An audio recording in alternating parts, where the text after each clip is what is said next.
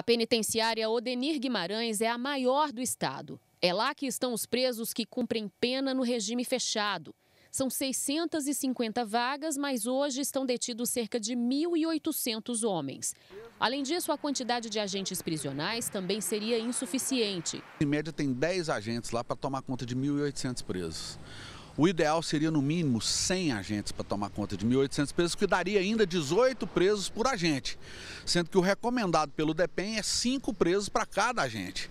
Portanto, ali tinha que ter 100 agentes em cada plantão para a gente tentar manter uma estabilidade necessária, fazer segurança, vigilância e disciplina. O complexo prisional de Aparecida de Goiânia tem ainda outras cadeias.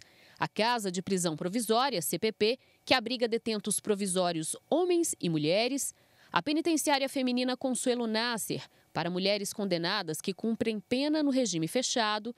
O Núcleo de Custódia, presídio de segurança máxima para detentos perigosos ou ameaçados de morte, e a colônia agroindustrial do semiaberto. Essa última foi palco da rebelião do dia 1 de janeiro, em que nove presos morreram, 14 ficaram feridos e quase 300 fugiram.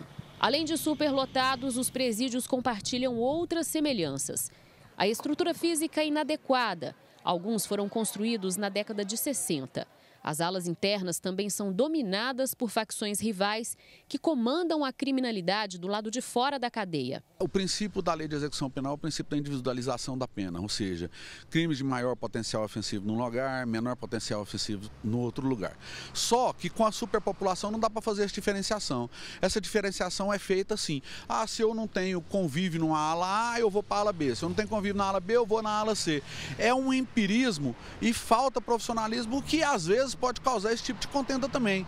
Um desafeto com outro desafeto, contaminar toda uma estrutura prisional e acontecer uma situação igual aconteceu essa agora. Para o Ministério Público, a combinação de superlotação, prédios velhos, poucos agentes e disputas internas entre facções tornam o sistema prisional goiano uma bomba relógio. Nós precisamos acelerar o processo de parceria público-privada para a construção de uma nova unidade de semiaberto, que eu creio que nesse ano 2018 nós teremos condição de fazer.